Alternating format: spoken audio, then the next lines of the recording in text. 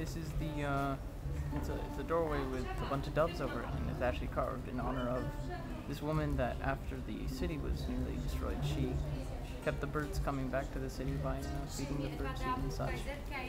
And um, yeah, I'm not sure if this where she lived or what, but this is where she is honored. Uh, number six on this street. This is actually the longest street in Old Town.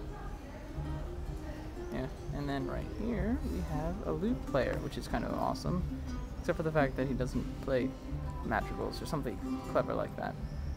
He just treats it as a guitar. But uh, we'll go say hi to him and find out his name.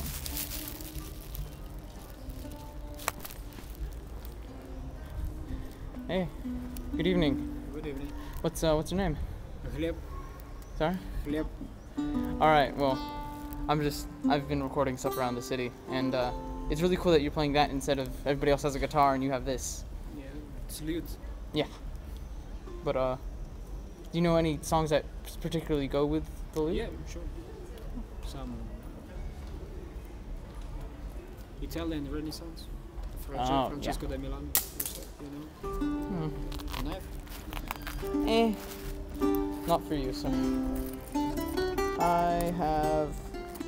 I to go through. Have some in here for you. I can't find it. What? Sure, give him that then. Thank some you very much. Ah, there we go. There's another. And keep up the lute playing. Have a good night. Good night. Thank you.